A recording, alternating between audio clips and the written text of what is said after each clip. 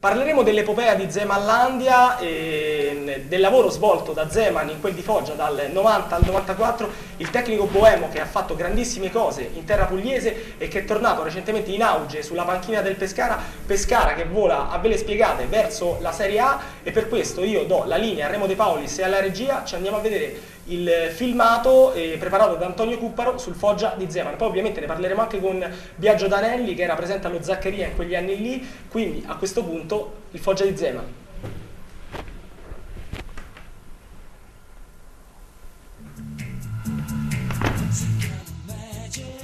Magic, magic, magic, magic, magic, magic, magic, magic.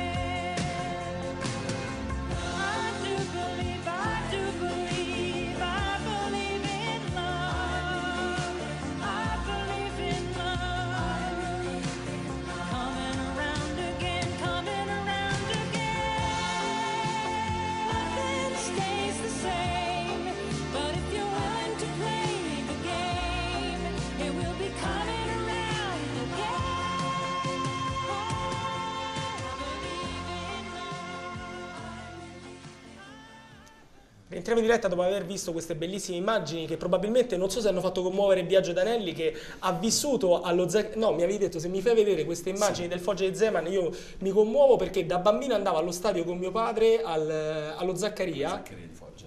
Allo Zaccaria Peraltro spieghiamo perché eh, Zaccaria era un cestista morto durante la guerra greco-albanese di Foggia, da cui lo stadio ha preso il nome, ma io vengo subito da te Biagio perché mi stavi raccontando in privato eh, delle cose che ti raccontava tuo padre sugli allenamenti del Foggia di Zeman. Ma fortunatamente io sono stato io, ho vissuto quasi tutto grazie a mio padre, perché innanzitutto mi ha inculcato questa passione per il calcio e per il Foggia, perché essendo pugliese, ma la cosa bella è che ho assistito due o tre allenamenti E sono rimasto veramente esterefatto perché vedevo Zeman tranquillamente fumarsi la sigaretta e vedevo questi poveri giocatori con dei sacconi di farina su, sulla schiena che saltavano le gradinate dello stadio. Per me era una cosa illogica, ma questo è veramente questo è un massacro. Dopo li faceva fare chilometri e chilometri di corsa con i pesi e i polpacci e poi li ha fatto rifare nuovamente i sacchi dopo un'ora di, diciamo, di stretching. Cioè, poi ecco perché in campo volavano. Una cosa, una, cosa, una cosa, del genere l'ho vista fare anche in uno speciale a Giampiero Ventura ai tempi del Cagliari. Non mi vorrei sbagliare, però eh, alcuni anni fa stavo vedendo sull'emittente satellitare della Sardegna gli allenamenti del Cagliari e anche eh, Giampiero Ventura adottava questa eh, tipologia di allenamento. È possibile, eh, perché esatto. anche il Bari delle, de, degli ultimi anni ha corso, rimanendo sempre in Puglia. Altre emozioni legate a quel Foggia lì, giocatori... Ma, ma dovuto all'allenamento c'era anche che il Foggia, la parte iniziale del campionato, perdeva colpi ovunque, poi i giocatori una volta che raggiungevano quella forma fisica, perché poi questo è tipico di Zeman, la squadra prima nel calare e poi le squadre di Zeman passano sempre in svantaggio, cioè se non so se ci avete mai fatto caso, è bello perché c'è sempre questa goleada. Però poi cosa succedeva? Che nel passare due o tre mesi il Foggia cresceva, vinceva con la squadra importante e poi perdeva 30-0 con la squadretta di, di, provincia. E questa è la cosa bella del Foggia, quindi è un ricordo splendido. A Roma è successo un po' il contrario, a dire la verità, sì. Vabbè, sì. due anni alla Roma, la, la, Roma partiva alla grande, poi arrivava dicembre. Il, cal- il calo era tra dicembre e febbraio, sì. la parte diciamo invernale, laddove anche i campi erano prego, troppo prego. pesanti e per il gioco di Zeman che aveva bisogno di grande rapidità e velocità velocità. Oh, ma infatti lui è stato sì. sempre pignolo sulla praticità, praticità sì, del campo. Cioè, infatti se il campo non è come dice lui, i ragazzi non giocano, è una cosa assurda. Voleva la sosta invernale, non mi ricordo perché parlava della sosta invernale perché d'estate si gioca meglio, mi ricordavo anche questa cosa qui. Eh, eh, rimango da te Alberto perché dovevo iniziare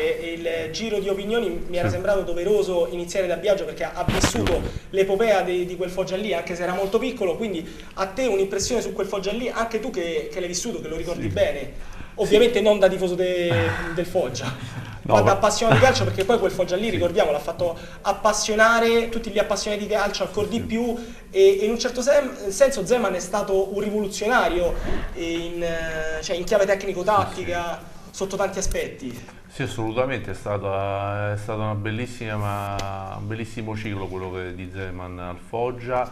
Tra l'altro, pensa io l'Imperì lo conoscevo poco, poi quando ho cominciato a scoprirlo eh, mi sono talmente appassionato che dicevo a casa, oggi quando c'è Roma Foggia, dicevo oggi non vado allo stadio di Roma, oggi vado a vedere il Foggia di Zeman, perché era talmente bello ed erano poi sempre belle partite. Anche mi ricordo per esempio un Roma Foggia con Mazzone finito 0-0, dove praticamente ci furono solo due tiri in porta, eppure per me fu una bella partita perché furono due squadre che si annullarono, però che, che giocarono alla morte per tutti i 90 minuti. Poi la cosa bella, mi ricordo il, nella stagione 92-93 dove lui praticamente, anzi il presidente ha venduto tutta la squadra, no signore la Lazio, e mi ricordo benissimo che Roma Foggia si giocò se non sbaglio la seconda di campionato e vedevo comunque questi uh, ragazzi giovani perché erano praticamente quasi tutti sconosciuti, c'era Di Biagio giovane giovane, c'era Biagioni mi ricordo e vedevo questi anche ragazzi... Giovannino Stroppa sì, che si bravo, Giovannino Stroppa. E mi ricordo la Roma vinse 3-1 però ho, dissi all'amico che stava con me questa è una squadra che si salverà perché vedo, vedo, una squadra, vedo dei giocatori che stanno piano piano entrando nei meccanismi di Zeman e così fu. Marco Battistini Beh, eh, i ricordi soprattutto legati alla Roma, alla Roma di Zeman, sono ancora vivi nonostante siano passati 12-13 anni. All'epoca non facevo il giornalista, ero tifoso, abbonato allo stadio. Credo di aver visto un calcio forse come mai anche nel passato, forse la Roma di Ericsson si avvicinava un po' come eh, sì. spettacolo in campo, partite vinte eh, davvero in maniera clamorosa sì, rimanendo no, in piccole realtà? Parlo della Roma ovviamente, no, per no, carità, certo. eh, è semplicemente un po' riferimento alla squadra giallorossa con un organico che era probabilmente anche inferiore all'attuale Roma di Luis Enrique, ottenne un quarto ed un quinto posto, il quinto posto l'anno successivo anche frutto di una serie di errori arbitrali, chiamiamoli errori, insomma non andiamo al di là che eh, gli negarono una Champions League probabilmente meritata. L'ho intervistato quattro anni fa eh, con un'altra emittente vostra concorrente, Europa TV, dopo l'esonero con l'Avellino, era un tecnico che era stato praticamente eh, allontanato un po' dal sistema calcistico, dal cosiddetto sistema oggi, questo lo dobbiamo dire. Insomma, Quello che gli fecero a Napoli anno. fu allucinante. E sono molto contento che a distanza di quattro anni si sta riprendendo delle rivincite che,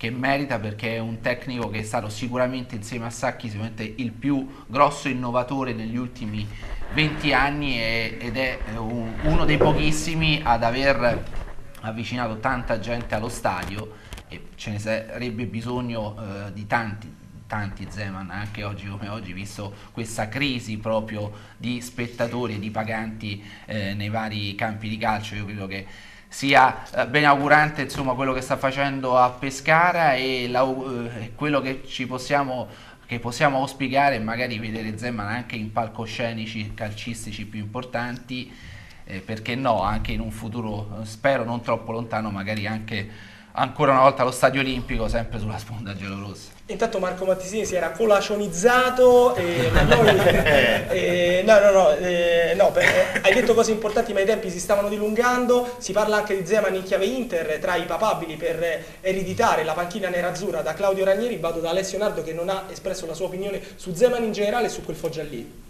Ma io il Foggia onestamente non posso ricordarmelo perché ero veramente piccolo piccolo. E mi, mi ricordo la prima squadra di Zeman che ricordo la Lazio, quindi per me Zeman cioè sono cresciuto con Zeman che era il mio nemico calcistico, io Mazzone dalla mia parte, tutte universi Poi è diventato un amico.